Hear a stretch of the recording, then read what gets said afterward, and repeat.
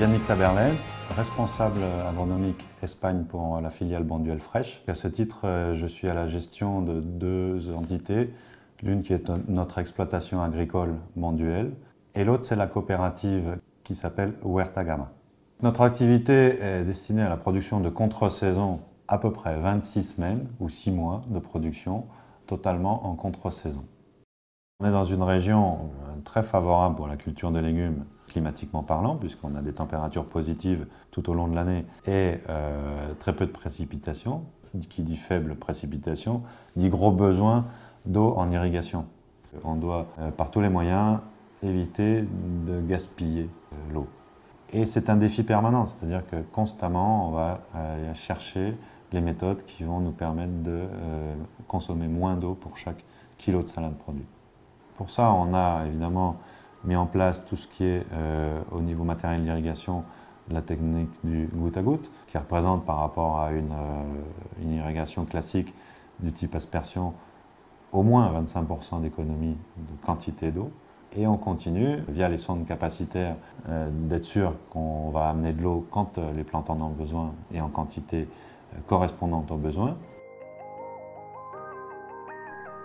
C'est un devoir d'innover en permanence pour améliorer notre performance technique et notre performance économique.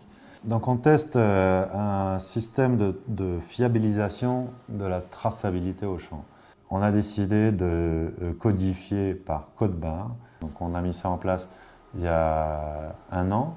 On l'a fiabilisé au cours de la saison passée. Et maintenant, on est en phase de diffusion auprès de nos producteurs.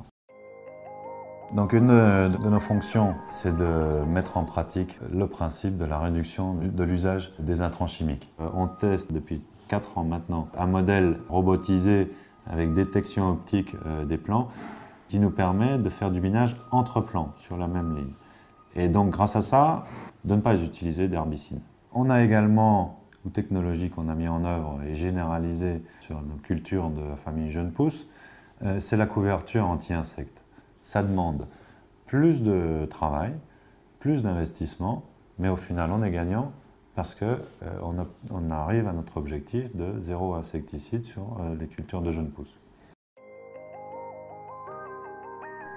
Pour euh, garantir un produit de qualité à la porte de l'usine, il faut assurer ce qu'on appelle le post-récolte. On a mis en place un flux logistique, un contrôle de qualité et un système de refroidissement intégré.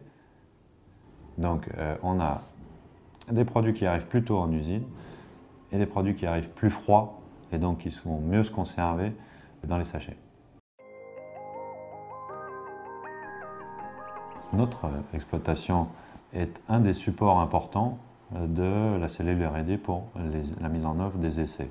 Avec les semenciers, euh, il y a une limite très claire, c'est l'organisme génétiquement modifié. Donc les innovations qu'on teste sont toujours des résultats de croisement génétique naturel.